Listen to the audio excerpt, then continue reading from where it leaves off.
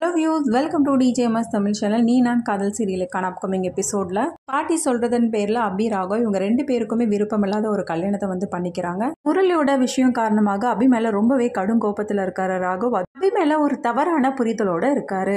நார்மலாக இருந்ததை விட கல்யாணத்துக்கு அப்புறமா அபி மேலே ரொம்பவே கோவத்தோடு வந்து நடந்துட்டு இருக்காரு. இதெல்லாம் பார்த்து அபி வந்து கேள்வி கேட்குறாங்க எதுக்காக இப்படிலாம் என்கிட்ட நடந்துக்கிறீங்க? அப்படின்னு சொல்லிட்டு உனக்கு ஒன்றும் தெரியாத தெரியாத மாதிரி நடிக்காத அப்படின்னு சொல்லிட்டு கேட்குறாரு என்ன தப்பு பண்ண? சொன்னாதானே எனக்கு தெரியும் அப்படின்னு சொல்லிட்டு கேட்க ஓ நீ என்ன தப்பு பண்ணன்னு வேற என்கிட்ட கேள்வி கேட்டுட்டு இருக்க பாரு இன்னும் ஆறு மாசம் தான். அது வரல உன்னை எப்படி நான் சகிச்சுக்கிட்டு இந்த வீட்டில் இருக்க போறேன்னு எனக்கு ஒன்றும் புரியல. எதுக்காக ஆறு மாசம் சொல்றீங்க? எனக்கு ஒன்றும் புரியலையே அப்படின்னு சொல்லிட்டு அபி கேட்க எல்லாம் புரிய வரும்போது புரியட்டும் அப்படின்னு சொல்லிட்டு ரொம்பவே கோவமா போயிட்டுறாரு அதுக்கு அடுத்ததான் இவங்க ரெண்டு பேருக்கும் உண்டான அந்த சம்பிரதாயம்லாம் வந்து பண்றாங்க. அதுக்கு ராக வந்து மறுக்கிறாரு. இந்த விஷயத்தெல்லாம் தெரிஞ்சுக்கிட்ட முரளி ஒரு பக்கம் ரொம்பவே கடுப்பாகி போக இன்னொரு பக்கம் முரளி வந்து பயங்கரமா மிரட்ட ஆரம்பிக்கிறார். ராகு இதோட ப்ரோமோ முடிச்சிருக்காங்க.